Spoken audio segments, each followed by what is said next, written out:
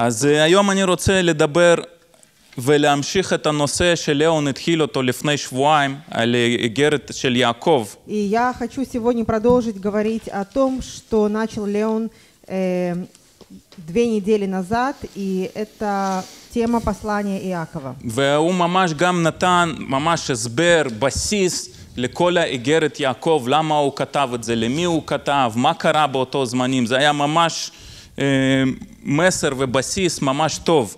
И то, что Леон начал, он дал нам основу и рассказал, э, кем, когда и каким образом было написано это Писание. И эта основа э, была очень твердой и хорошей для нас. ואז גם בעצם דיברנו אחרי זה על אה, ניסיונות שבן אדם עובר.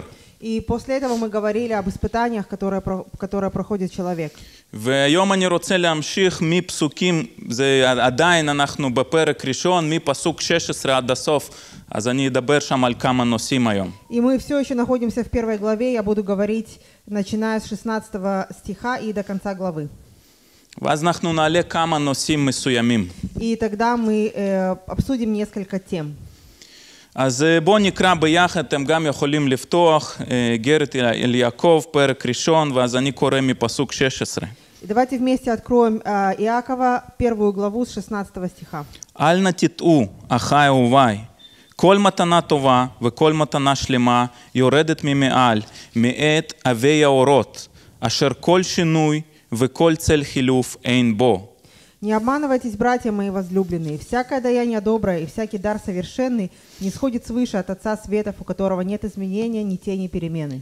אז קודם כל אנחנו רואים פה שהוא מתחיל שכל מתנה טובה, כל מעשה טוב, כל משהו שנועד לטובה לבן אדם, הכל ניתן מאלוהים. И здесь мы знаем, что всякий добрый, э, даяние доброе, и всякий дар, все благое, что у нас есть на этой земле, приходит от нашего Небесного Отца. וזה גם מתקשר למה שלפני זה דיברנו, מה שליאון גם סיפר, שאלוהים לא אה, מנסה אף אחד ברע.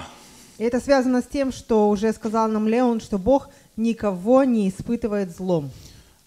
אבל מצד שני, כל מה שיש בתוך בן אדם, ולא משנה אם הוא מאמין או לא, דברים טובים, זה כמו אופי יכול להיות, זה, כל זה ניתן מאלוהים. И все, что есть доброго у человека, его характер, его добрые дела, все это дано ему от Бога. ואנחנו באמת יכולים עכשיו לחשוב ולדמיין ולהיזכר אולי במספר אנשים שאנחנו מכירים, שהם לא מאמינים. И мы можем сейчас подумать про некоторых наших друзей или знакомых, которые неверующие, ו- אבל יש להם ממש תכונות של אופי מאוד מאוד טובות. но у них есть очень хорошие черты характера. יש כאלו שיש להם ממש לב פתוח, הם דואגים אחד לשני, דואגים לכל האנשים מסביב, נותנים ותורמים הכל. Есть люди с открытым сердцем, которые переживают за других, которые помогают, которые жертвуют собой, своим временем, и действительно очень хорошие люди. יש יש אנשים שיש להם המון המון סבלנות, ולא משנה, אתה מעצבן אותם, אבל הם בסבלנות עוזרים ועונים לך. Есть люди, ко- у которых, э, которые полны терпения, ты можешь их раздражать, э, делать им э, даже не самые лучшие вещи, но они тебе отвечают и относятся к тебе с большим терпением. יש אנשים שיש להם חוכמה, יש אנשים שהם נותנים צדקה ומאוד מאוד נדיבים. Есть люди, которые полны мудрости, есть люди, которые э, а с открытым сердцем жертвуют, дают сдаку и очень-очень щедрые. למה אני אומר את זה? שלפעמים בן אדם הוא אומר, אני לא מאמין ואין לי קשר לאלוהים, אני לא חייב לו שום דבר, אבל כל התכונות הטובות שיש בתוכו, הם באים מאלוהים עצמו, ואתה לא יכול לסרב לזה. Почему я говорю об этом? Потому что есть люди, которые говорят, я не верю в Бога, у меня нет никакой связи с Ним, я не хочу иметь никакие связи, но все добрые черты характера, которые у него есть, хотите вы этого или нет, это дал ему Бог. היא- לכן, לכן אנחנו יכולים בעצם גם להודות לאלוהים על כל הדברים האלו. Поэтому мы можем благодарить Бога за все эти благие вещи. וברור שאם בן אדם לא מאמין, קשה לו לעשות את זה. И, конечно, когда человек неверующий, ему сложно это делать. אבל בכל מקרה זה מגיע מאלוהים לכל מעשה טוב. Но в любом случае это исходит от Бога, все добрые дела. אבל עכשיו פה יש עוד נקודה חשובה. И здесь есть еще одно, важ- один важный пункт. מדובר פה על אלוהים שהוא לא משתנה. Здесь говорится о Боге, у которого нет, написано, ни тени перемены, который не меняется. ומה שמעניין שמדובר פה כתוב שהוא אבי האורות. Написано, что он отец светов. Света. ומה שמדובר פה זה האורות שאלוהים ברא, שמש וירח. Это те э, световые тела, которые он создал, э, Луну и Солнце. ויש פה באמת השוואה על אלוהים שהוא לא משתנה לעומת השמש והירח שיש בהם שינוי. И здесь э, есть такое сравнение Бога, который не меняется, и Солнца и Луну, которые, да, меняются. אנחנו יודעים שהשמש עולה, יורדת, פתאום מופיעה, פתאום נעלמת, ירח רק בלילה, ב- בצהריים לא רואים אותו. Мы знаем, что Солнце восходит и заходит, его иногда видно, иногда тучи его прячут, э, Луну мы видим только ночью, и то не всегда. לפעמים הירח הוא מכסה את השמש, Иногда Луна затмевает Солнце, או איזשהו כוכב אחר, или другая какая-то אז כל звезда. הזמן יש איזשהו שינוי. То есть все время есть э, на небе какие-то перемены. אבל באלוהים עצמו אין לו שינוי, הוא לא משתנה. Но у Бога, в Боге в самом нет перемен, Он не меняется. וזה חלק ה- של האופי שלו, וזה מאוד חשוב להבין לנו, עוד מעט אני אגיד למה. И это часть его характера, и нам очень важно понять это, я скоро скажу почему. ומה שאנחנו יכולים גם להבין, שבגלל שהוא אור, אז אין בו שום חושך. И то, что я хочу сказать, что из-за того, что Бог есть свет, в нем нет никакой тьмы. וזה גם בעצם מתקשר לזה שהוא נותן לנו דברים טובים למעשים טובים. הוא אה. נותן אור. И это связано с тем, что Он дает нам делать благие дела, а, Он дает нам хорошие вещи для того, чтобы мы делали хорошие дела, и Он есть свет. ואז כשאנחנו מדברים על אה, אופי של אלוהים שהוא לא משתנה, אז על מה בעצם מדובר פה? זאת, как- זאת השאלה. И когда мы говорим про характер Бога, который не меняется, о чем здесь говорится? Вот это вопрос. אז קודם כל הוא לא משתנה בתכונות שלו. Во-первых, Он не меняется в своих качествах. הוא לא משתנה בשלמות שלו. Он не הוא меняется מושלם. в своем совершенстве, Он есть совершенный. הוא גם לא משתנה ב... אה, הנה, אפילו שכחתי את המילים בעברית. כן, הוא לא משתנה במטרות שלו. Он не меняется в своих целях. הוא לא משתנה בהבטחות שהוא נתן לבני אדם. Он не меняется в обетованиях, которые Он дал כל זה человеку. נשאר תמיד אותו דבר. Все это остается а, тем же. ואני אפילו רוצה לקרוא לכם אה, מפסוק ממלאכיה, И Я хочу прочитать вам из книги пророка Малахии, זה פסוק שלוש, אה, פרק שלוש, פסוק שש. третья глава, шестой стих. אז אה, הוא אומר שם, אני האלוהים, אני לא משתנה. בגלל זה אתם בני ישראל לא נחרבתם. А, Малахия 3.6 написано, «Ибо я Господь, я не изменяюсь, поэтому вы, сыны Израиля, не уничтожились». מה זה אומר שהוא לא משתנה ומה זה קשר לבני ישראל? Что значит, что он не меняется и какая связь с народом Израиля? כי אם הוא натан איזושהי הבטחה, אם הוא כרת ברית עם ישראל, אז הוא מנסה לשמור עליו.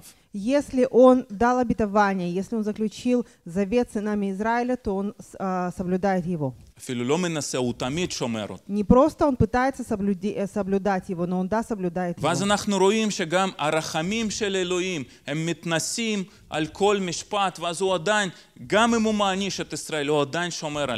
אנחנו רואים שגם הרחמים של אלוהים, הם מתנסים על כל משפט, ואז הוא עדיין, גם אם הוא מעניש את ישראל, הוא עדיין שומר עליהם. И мы видим, что а, его милость, она превозносится над всеми его судами. И даже если он допускает и наказывает а, Израиля, но он все равно а, сохраняет его и хранит. ואתם יודעים מה, האמת, יש פה גם לוגיקה מסוימת למה אלוהים הוא, הוא לא יכול להשתנות. И здесь есть определенная логика, почему Бог не может изменяться. כי השינוי הוא תמיד קשור לזמן. Потому что э, изм- перемены связаны со временем. יש לך מצב אחד לפני שינוי ומצב אחר, אחר אחרי השינוי. У тебя есть состояние определенное до изменения и другое состояние после изменения. וזה קורה בתוך איזשהו פרק זמן מסוים. И это, свя- это происходит в определенный период времени.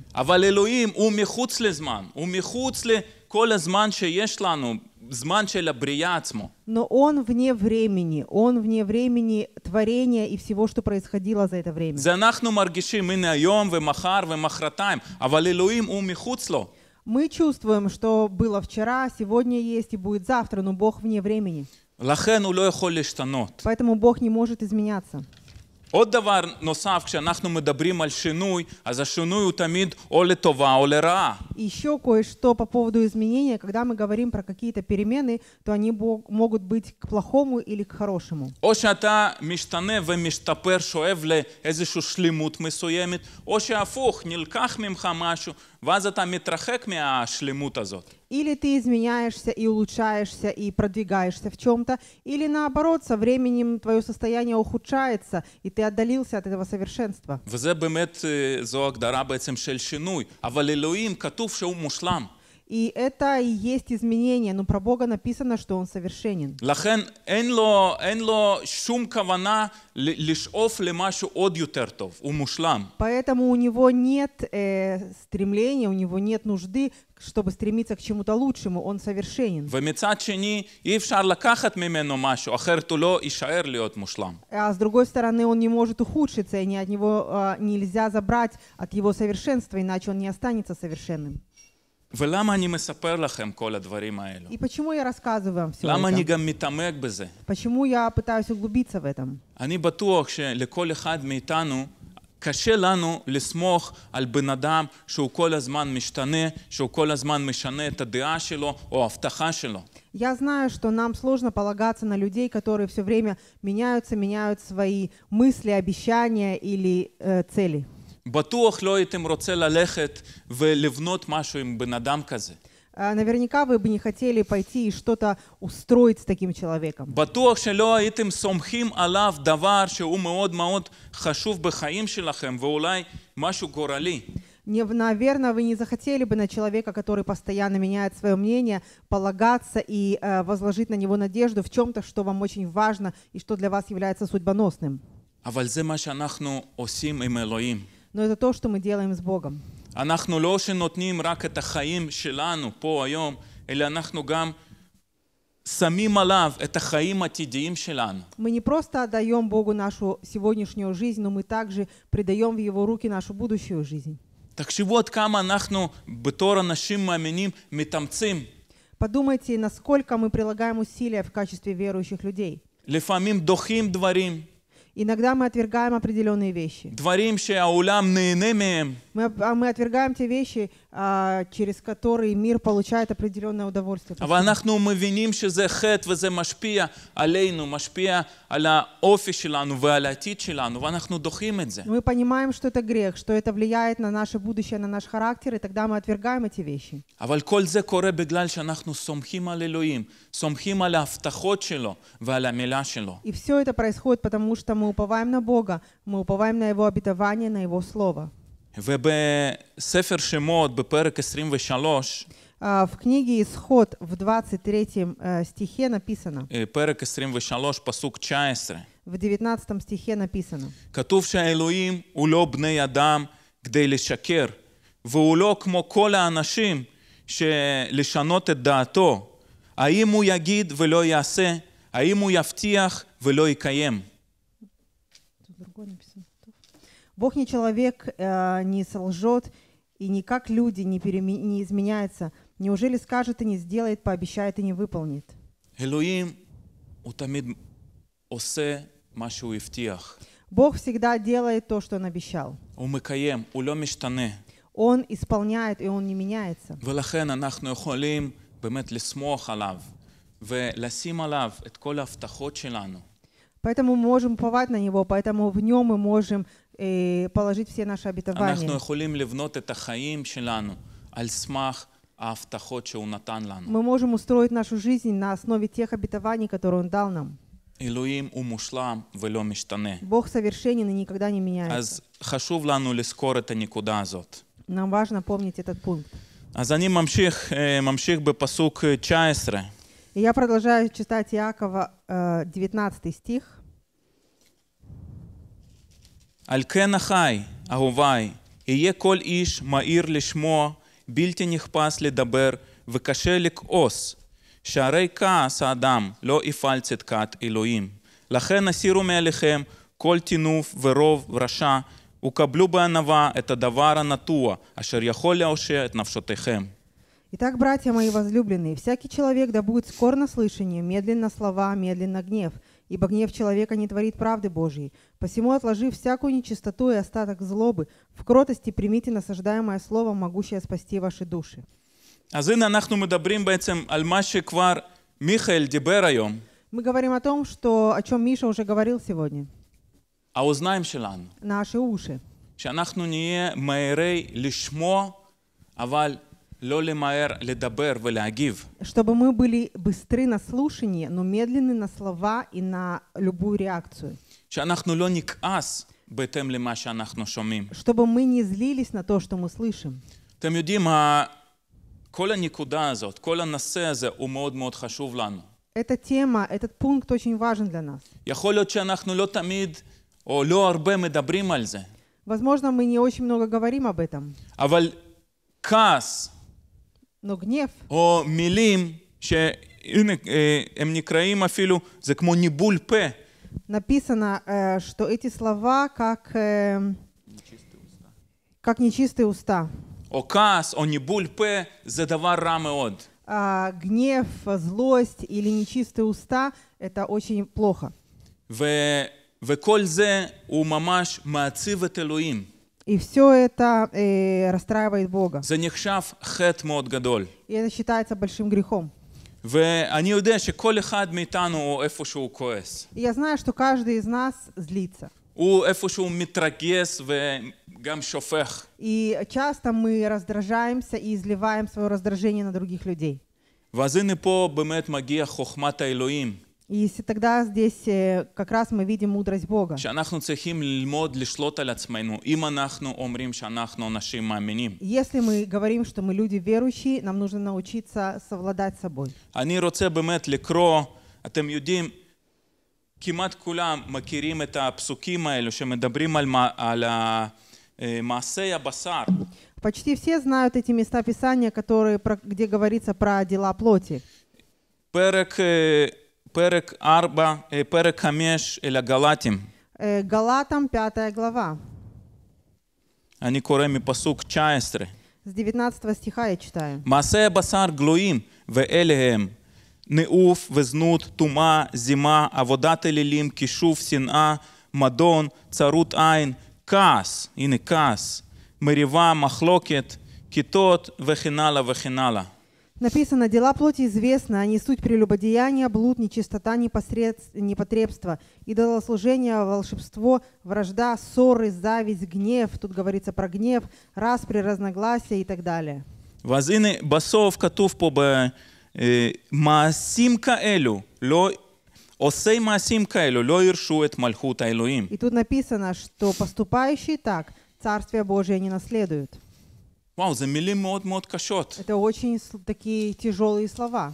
אם יש לי כעס שהוא שולט עליי, אין לי מקום במלכות השמיים. Если я гневаюсь настолько, что гнев мной владеет, то мне нет места в Царстве Божьем. יש פה המון דברים אחרים שאנחנו מדברים עליהם, אבל היום באמת אני רוצה להתרכז על כעס. И есть здесь много других вещей, но сегодня я хочу сосредоточиться на гневе. אני רוצה לקרוא גם מספר אל האפסים, Я также хочу פרק прочитать 4, Ефесянам 4 главу. בפסוק 26. В 26 стихе написано ריכזו ואל תחתו, אל תשקע השמש על כעסכם, ואל תיתנו מקום לשטן. «Гневаясь, не согрешайте, солнце да не зайдет во гневе вашем, и не давайте место дьяволу». אז הנה, יש פה מצד אחד אופציה שכן, אנחנו מתרכזים. זה, זה לא ממש כעס, זה משהו ש... וואו, משהו שעולה בפנים, אבל הוא אומר, אל תחתו. И здесь есть э, а, такая опция для нас, то есть тут написано «гневаясь, не согрешайте». Не то чтобы гневаясь, понятно, что часто в нас может э, возбудиться раздражение, но здесь написано, что когда в вас э, э, поднимается вот этот гнев, главное не согрешить. ואז פה יש פה מילה חשובה, אל תיתנו מקום לשטן. И здесь есть самое важное слово, это «не давайте место дьяволу». זאת אומרת, כשאתה כבר עפרת את הקו המסוים הזה, שלא שמרת על הכעס שלך, אז אתה נותן מקום לשטן. То есть, когда ты перешел вот эту границу и ты дал место своему гневу, это означает, что ты дал место дьяволу. אני רוצה להמשיך באותו פ- פרק לקרוא Я хочу продолжить читать э, в той же главе, מפסוק 29. с 29 стиха. אל יצא מפיכם כל דבר ניבול, אלא דבר שהוא טוב בעתו, ויש בו כדי לבנות למען ישפיעו נועם על השומעים. ואל תעציבו את רוח הקודש, אשר נחתמתם בה ליום הגאולה. הסירו מכם כל מרירות וחימה וכעס וצעקה וגידוף וכל רשעה. Никакое гнилое слово да не исходит из уст ваших, а только доброе для назидания в вере, дабы оно доставляло благодать слушающим. И не оскорбляйте Святого Духа Божия, которым вы запечатлены в день искупления. Всякое раздражение, ярость, и гнев, и крик, и злоречие со всякой злобой да будут удалены от вас. אז איך בעצם כל זה עובד? И каким образом все это может работать? אנחנו יודעים שמישהו אמר לנו משהו. Мы знаем, кто-то нам что-то сказал. משהו שאני לא מסכים איתו, אולי הוא פגע בי, Что-то, с чем я совсем не согласен, возможно, даже этот человек меня обидел. עשה לי את זה אולי אפילו בכוונה, И, возможно, он это сделал специально, чтобы меня обидеть. ואז בוודאות, אז הכל מבפנים מתחיל לעלות לאט לאט. И тогда, естественно, внутри нас погнева- поднимается вот этот вот э, гнев. אז מה, אתה רוצה בטח לענות לו. И, конечно, естественная реакция – это ответить этому человеку. כי המילה האחרונה צריכה להיות אחריך. Потому что последнее слово должно быть за тобой. נכון? ככה אנחנו חושבים. Так мы думаем, да? גם אם אנחנו מתכתבים, גם אם אנחנו אומרים, Неважно, разговариваем мы или переписываемся, אתה רוצה להיות אחרון, הנה, עשית משהו, הגבת. ты хочешь, чтобы твое слово было последним, вот ты поставил финальную точку. ואז אתה מתחיל להגיד לו משהו עוד יותר רע, כדי גם להכיס אותו כמו שהוא הכיס אותך. И тогда ты начинаешь на его обиду э, обижать его еще больше, потому что он тебя обидел. ואז המילים הטובות שלך לאט לאט הופכות לניבול פה, מה И שנקרא тогда פה. твои добрые слова, как здесь написано, становятся гнилыми. זה משהו מתחיל אולי קללות, И, возможно, начинаются проклятия, דברים ממש לא יפים שבתור איש מאמין לא היית אומר את זה מול כולם. И, возможно, ты говоришь такие ужасные слова, когда э, ты, будучи верующим человеком, не хотел бы, чтобы тебя слышали это другие. אבל כשאתה בתוך הכעס, זה פתאום עולה. Но когда э, тобой владеет ярость, это все выливается наружу. ואז כשיש את המלחמה המילולית הזאת, אז הכעס הוא עולה יותר, ואז לפעמים הוא אפילו הופך לזעם, הוא הופך למשהו שאתה И, возможно, когда вот этот вот эта словесная перепалка гневная э, затягивается, то ты, э, то даже внутри тебя поднимается ярость настолько, что ты даже можешь физически действовать. ואז אה, כמו שכתבנו פה, ב- כמו שכתוב פה בפסוק 30, כתוב, אל תעצבו את רוח הקודש. И тогда здесь написано, не оскорбляйте Святого Духа Божия. כלומר, כשקורה תהליך הזה, Когда происходит этот процесс, כשאנחנו מתחילים להוציא מילים לא יפות, כשהכעס עולה ואנחנו לא שולטים עליו, זה מעציב את רוח אלוהים. когда, мы, когда внутри нас поднимается гнев, и когда мы произносим дурные, нехорошие слова, это значит, что мы оскорбляем Святого Духа אז Божьего. תחשבו, אנחנו מעצבים את אלוהים, אנחנו, את, את רוח הקודש, אנחנו נותנים מקום לשטן, אז בפועל מה שקורה זה מרחיק אותנו מאלוהים. И подумайте тогда, что происходит. Во-первых, мы оскорбляем Святого Духа Божьего, как написано. Во-вторых, мы на- даем место дьяволу, и это все отделяет нас от Бога. ואז ברור שהתוצאה בסוף לא ירשו את מלכות האלוהים. И а, результ- в результате всего то, что написано, что поступающие так Царство Божьего не наследуют. אז מה בעצם הפתרון? Так каково решение? מה אנחנו צריכים לעשות? Что нам нужно сделать? אז אה, יש כמה דברים שהייתי, חוץ ממה שאנחנו נקרא עכשיו, כמה דברים מעשיים שהייתי ממליץ לכם. И кроме того, что мы сейчас будем читать, есть некоторые э, практические вещи, которые я бы хотел посоветовать. בכתובים פה כתוב ריסון עצמי. В Писании написано, что такое? אה, אה, איך זה אומרים? ריסון עצמי, זה כשאתה יכול לשלוט על עצמך, Самодисциплина. קונטרול. Самоконтроль, когда ты можешь совладать с собой. הנה, תסתכלו את זה בפ- בפרק 5, לגל"טים. В Галатах, э, пятая глава, אחד ממתנות הרוח או ממעשי הרוח זה ריסון עצמי בפסוק 23. одно из, э, а, воздержание, одно из плодов Духа в И- 23, умение владеть собой. э, в 23 стихе, в пятой главе, это умение, ну, воздержание, это умение владеть собой. אז זה משהו שאנחנו צריכים ללמוד לעשות אותו. Это что-то, а, что мы должны, чему мы должны научиться. זה משהו שיכול לעצור את הכעס שלנו, זה יכול לעצור אותנו ממעשים רעים שאנחנו יכולים לעשות בזמן הכעס. Воздержание – это что-то, что может удержать нас от дурных слов и поступков, даже тогда, когда мы в гневе. ואתם יודעים מה? זו עבודה שלנו. И это наша работа. זה משהו שדורש מאמץ, זה משהו שדורש כוח, זה משהו שדורש התמדה. Это что-то, что требует э, постоянства, силы и терпения. זה לא משהו שאתה אומר, אלוהים, בוא, תוריד, לי, תוריד ממני וזה נעלם. Это не что-то, что ты помолился просто и говоришь, Господь, убери это от меня, и упс, это исчезло. לא, ריסון עצמי זה משהו שאתה יכ- צריך לעבוד עליו מאוד קשה. Воздержание – это что-то, над чем ты должен тяжело работать. ובדיוק בזה אנחנו מבינים האם אנחנו אנשים בוגרים באמונה או לא. И здесь мы понимаем, явля- являемся мы зрелыми верующими или нет. כשאנחנו לומדים לרסן את עצמנו, когда, когда мы учимся воздерживаться, когда мы учимся останавливать себя вовремя. Когда мы научимся этим, мы будем знать, что мы э, зрелые, и зрелые в своем характере, и зрелые в вере. Поэтому что мы делаем? Если происходит какой-то спор, כדאי, לדע... כדאי להכיר נוהל שנקרא נוהל קוקה קולה. э, очень э, стоит э, запомнить правило, которое называется правило Кока-Колы. אני חושב כל אחד שתה קוקה קולה, נכון? Каждый, наверное, пил Кока-Колу хоть раз в своей жизни. או да? איזשהו משקה מוגז אחר. Или любой газированный напиток. כשאתה לוקח אותו, ואם אתה ככה קצת מרעיד אותו, Когда ты берешь любую бутылку с газированным напитком и потрясешь ее, ואז תנסה לפתוח, יקרה משהו. а потом ты попытаешься ее открыть, кое-что произойдет. אתם יודעים מה יקרה, נכון? Знаете, да, что произойдет? הכל יתפוצץ. Все как будто взрывается и выливается наружу. זה מה שקורה בן אדם כשהוא נ- נמצא בתוך הכעס. Это происходит э, с человеком, когда он гневается. אצלנו בקבוצת בית בדיוק קרה ככה. У нас э, в домашней группе так произошло. לא שמישהו כעס על מישהו, לא. פשוט לקחנו סודה לשתות, Не то чтобы, я не говорю про то, что кто-то на кого-то разозлился, мы, это буквально произошло с э, минералкой.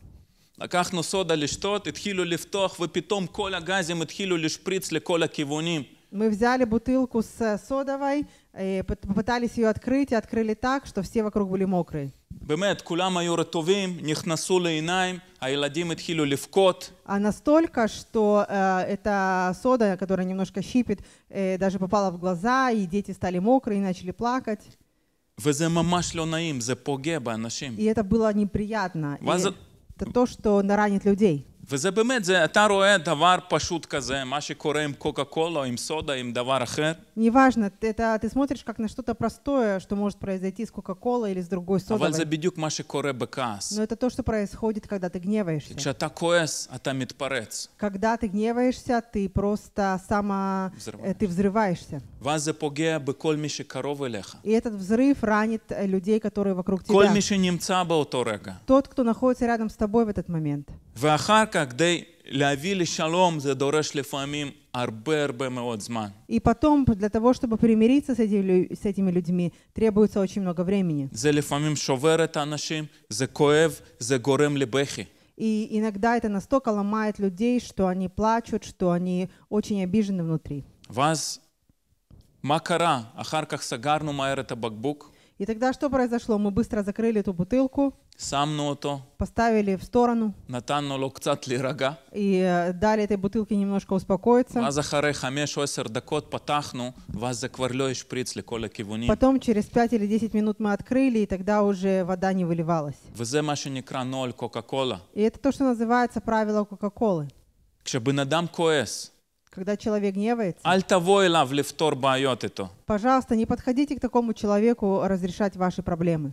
אתה מבין עכשיו שבאמת אתה רוצה, יש לך שאלות, אתה מנסה להוכיח לו משהו, זה לא הזמן, הוא לא שומע אותך. Когда ты видишь, что человек злится и в гневе, и у тебя есть какие-то вопросы, дела, которые тебе нужно с ним решить, оставь его в покое. אני יודע שזה מאוד קשה לעשות בזמן התהליך הזה. Я знаю, что этот процесс труден для обоих сторон. אתה לפעמים ממש מבין במאה אחוז שהוא לא צודק. ты видишь и понимаешь на сто процентов, что вот он не прав, אתה לא תצליח להוכיח но לו. ты ему в этот момент не сможешь это доказать. תן לבקבוק להירגע. Дай этой бутылке успокоиться. ואז אחרי כמה זמן תבואו ותדברו מחדש. А потом, через некоторое время, а, встретиться с этим человеком и поговорить еще раз. גם אם אתה אותו בקבוק, Даже если ты эта бутылка, אז תנסה להבין את זה. פפ- שאתה כרגע נמצא בזמן שאו-טו-טו אתה מתפוצץ. попытайся понять, что ты находишься в таком состоянии, что ты вот сейчас взорвешься. אז פשוט אולי כדאי ללכת לחדר אחר. И, возможно, стоит тебе уйти в другую комнату. ו- וזה מה שצריך באמת לעשות, לעזוב את המצב ולצאת, ללכת, להתרחק, לצאת מהבית. И это единственное, что можно сделать в таком критическом состоянии. Запереться в своей комнате или вообще уйти из дома, пойти погулять.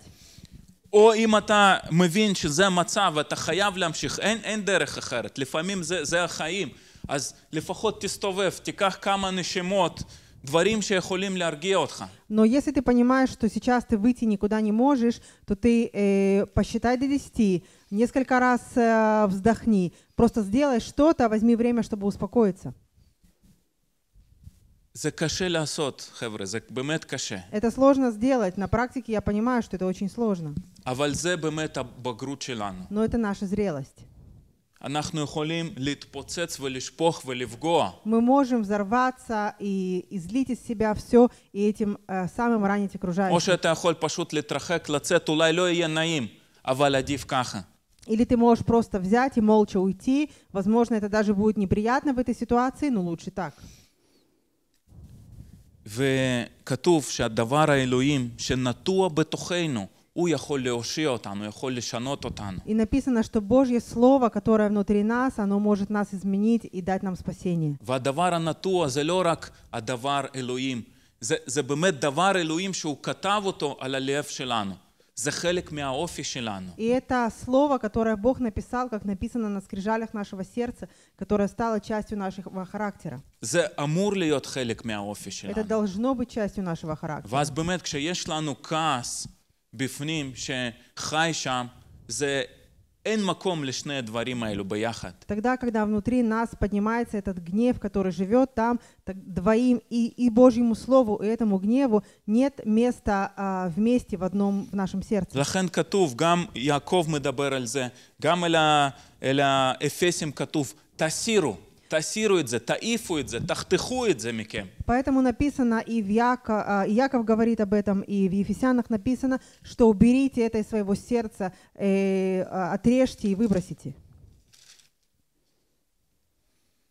Асиру микем коль мерирут вехима, векас, вецаака, вегидув, веколь риша. Всякое, э, какое место Писания? Арба... 29 или Ефесим. Всякое раздражение и ярость, и гнев, и крик, и злоречие со всякой злобою да будут удалены от вас. כלומר, אנחנו צריכים להסיר את זה. Мы должны удалить это от себя. רק פשוט תבינו, הבן אדם שהכעס ממש שולט עליו, Попытайтесь понять, что человек, который, э, которым обладел гнев, הבן אדם הזה הוא ממש נמצא בחטא. этот человек находится в грехе. וזה ממש חטא. И это на самом деле грех. ובכל הפסוקים, מה שכתבנו, זה עומד באותו רמה של ניאוף, של עבודת אלילים. И э, то, что мы прочитали в одном месте Писания, это поставлено на одну э, шкалу с э, блудом и с э, идолослужением. אז אנחנו צריכים לקחת את עצמנו בידיים ולהתאמץ ולעבוד כדי להשתפר ולהיות באמת אור. И нам нужно взять себя в, а, в руки и попытаться а, поменяться и сделать с- свою жизнь таким образом, чтобы из нее исходил свет. ריסון עצמי. Э, самовоздержание. זו, זו בעצם הפתרון, זה הבגרות שלנו. И это решение проблемы, и это наша зрелость. אוקיי, אני ממשיך. Я продолжаю. רגע, ליעקב.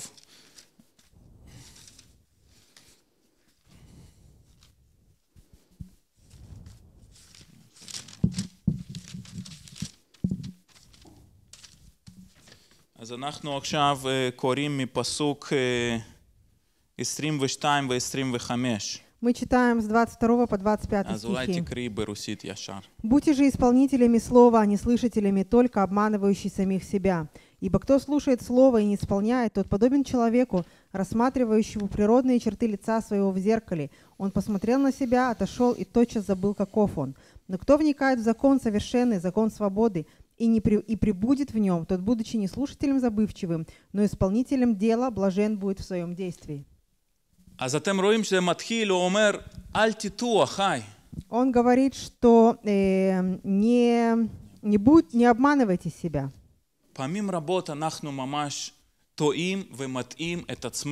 Часто мы обманываем себя.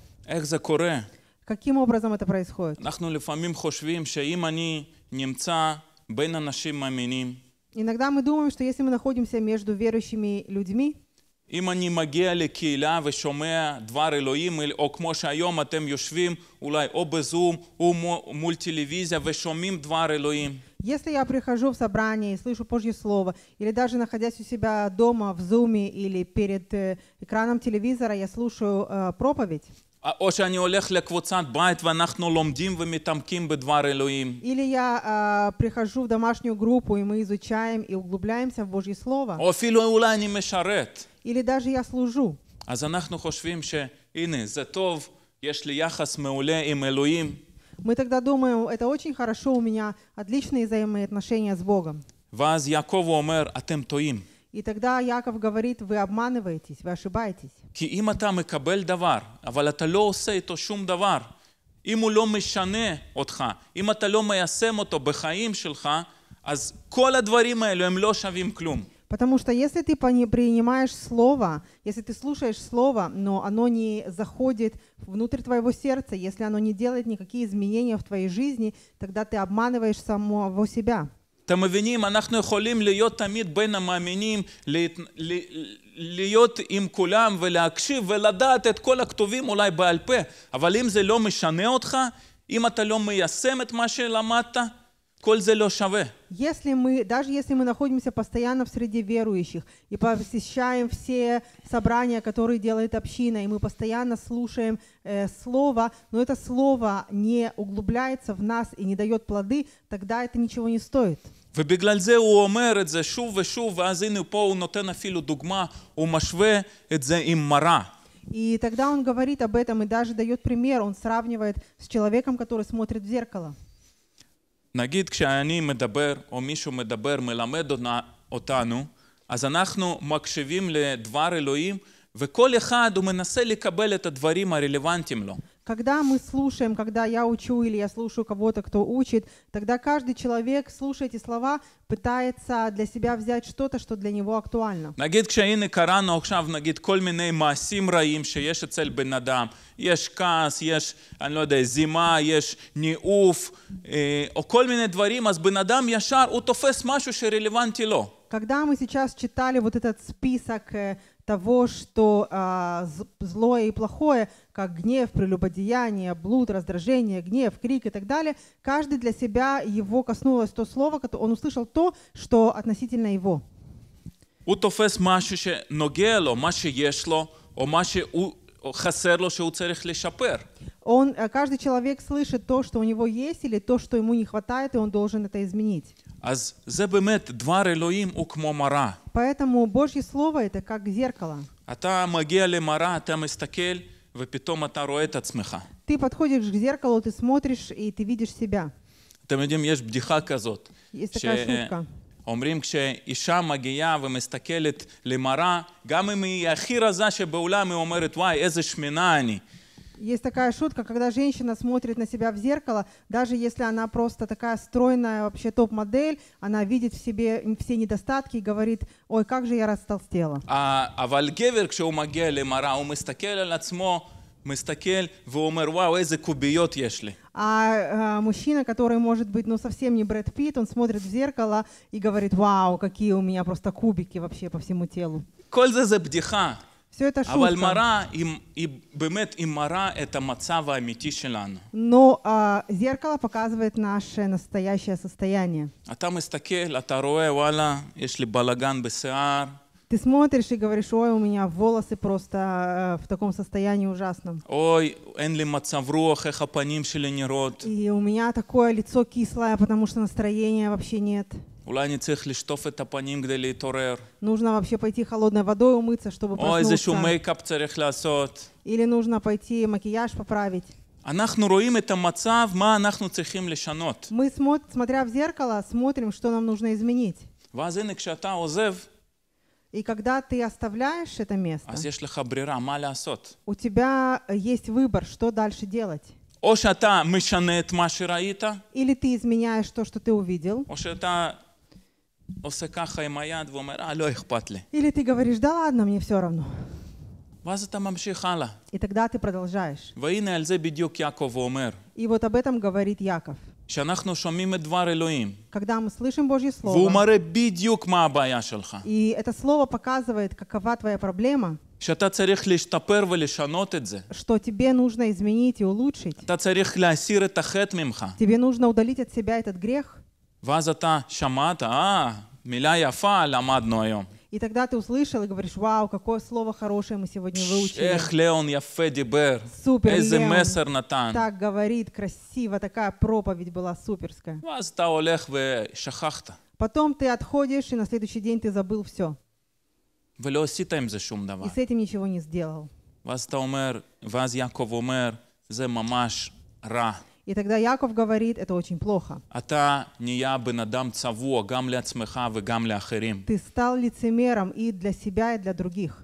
כי אתה שומע דבר ולא משתנה. Потому что ты слышишь слово, и ты не меняешься. אבל אם קיבלת את דבר אלוהים, Но если ты принял Божье Слово, הבנת, רוח אלוהים הוא באמת, הוא, הוא, הוא מלמד אותנו, הוא רוצה לשפר אותנו. ты понял его, ты принял, и Дух Святой действительно хочет изменить вас, ואז אתה אומר, וואו, מה אני אעשה עם זה? תגדל- אני חייב לעשות צעד אחד, שתיים, שלוש, וליישם את הדבר הזה. Тогда ты начинаешь думать и говоришь, что мне делать, и тогда ты строишь себе э, шаги. Я должен сделать это, это, это для того, чтобы исполнить это слово в моей жизни. ואז יעקב אומר, אשרי האנשים האלו. И тогда Яков говорит про этих людей, что они блаженны, то есть они счастливы. הם הראו את, ה, את הפרי הטוב שלהם. Они увидят добрый плод в своей жизни. כי הפרי הזה, או השינוי הזה, הוא נועד באמת כדי לשפר, כדי לקרב אותנו לשלמות של אלוהים. Потому что этот плод, он а, приведет нас в совершенство и приблизит нас к Богу. ואני חושב זה לא סתם ככה נפל היום, זה מה שמישה דיבר היום. שמיעה, И я думаю, что האוזניים שלנו, מה שאנחנו שומעים ועושים. не просто так Миша говорил про слышание, про наши уши. Очень важно, что мы слышим и что мы делаем с этим потом. לשמוע וליישם. Слышать и совершить. אוקיי, אני ממשיך. Я продолжаю. יש לי נקודה אחרונה בעצם. У меня последний пункт я вам хочу אה, передать. כ- כתוב ב- בפסוקים, בואו נקרא את הפסוקים מ-26 עד 27. Мы прочитаем с 26 по 27 стих.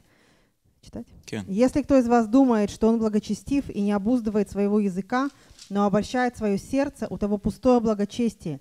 Чистое и непорочное благочестие перед Богом и Отцом есть то, чтобы презирать сирот и вдов в их скорбях и хранить себя неоскверненным от мира. אז יש פה מילה כזאת אה, מיוחדת, שאולי אפילו לא, לא תמיד מבינים אותה, בלגצ'סטיה. Есть здесь особое слово, которое не все понимают, что, что есть благочестие. אבל בעברית כתוב, מי שחושב שהוא עובד אלוהים אז, А на иврите написано «тот, кто думает, что он служит Богу, вот тогда כלומר, עבודת אלוהים. служение Богу». אם, אני חוזר למה שדיברנו, אם יש לי בעיה עם הלשון, Если у меня есть э, проблема с моим языком, אני לא יכול לעבוד אלוהים. я не могу служить Богу. זה לא נקרא לעבוד אלוהים. Это не называется служить Богу. והנה מה שיעקב אומר, כל זה, זה כמו, זה כמו אבל, זה הכל שווא, זה כלום. Э, Яков говорит, что это пустое благочестие, то есть это как прах, э, это что-то, что ничего не стоит. כלומר, אין בזה שום עבודת אלוהים. ו- אתה לא יכול לשרת ככה לאלוהים. В этом нет служения Богу, нельзя так служить Богу. ואז הנה אחר כך הוא מסיים, במה היא באמת, אז מהי באמת עבודת אה, אלוהים? И тогда Яков говорит, а что же есть настоящее וזה מה благочестие שכתוב בפסוק 27. или служение Богу, и об этом написано в 27 стихе. ואז הוא פשוט מציין כמה דברים. הוא אומר, לעזור לאלמנה וליתומים, И он тогда говорит, что настоящее служение Богу или благочестие – это помогать сиротам и вдовам. והדבר השני זה לשמור את עצמך מה, מה, מהעולם הזה, И второе – это хранить себя от этого мира, מהטומאה שיש בתוך העולם от הזה. скверны, которая есть в этом мире. יתום או אלמנה, Сирота или вдова זה אנשים שאין מישהו שידאג להם. – это люди, у которых нет э, того, кто позаботится о них. וזה מה שבעצם כתוב בכל התנ"ך, שאלוהים הוא זה שדואג לאלמנה וליתומים. И на протяжении всего Танаха написано, что Бог презирает, вд- э, Он смотрит и заботится о вдовах и о сиротах. אני חושב שזה פשוט מראה כזה שמנסה ללמד אותנו שאנחנו בתור אנשים מאמינים צריכים לדאוג לנזקקים. И это пример того, что мы, как верующие люди, должны а, заботиться о тех, кто нуждается в помощи. אה, אני אספר לכם סיפור, זה סיפור שאולי אפילו מבייש אותי קצת. И Я хочу рассказать вам одну историю, возможно, она меня даже и немножко стыдит, эта история. אני לפני כמה זמן אה, נסעתי לבקר מישהו, ב... את הקרובי משפחה ב... ברמב"ם, Я э, некоторое время назад поехал навестить своего родственника в Рамбам. ואז כאילו כשעברתי שם במעבר חצייה, אני רואה יושב איזשהו איש אחד אה, בחול... בחולצת ספורט ב... ובלי נעליים, יושב על הספסל שם. И я когда проезжал э, там мимо э, пере- пара- переходного пеш- пешеходного перехода, я увидел, сидит человек в такой спортивной майке, и, Костюме. э, в спортивном костюме сидит, но без обуви. ואז היה לי איכשהו, и я так почувствовал внутри себя, что, может быть, мне стоит подойти и поговорить с ним.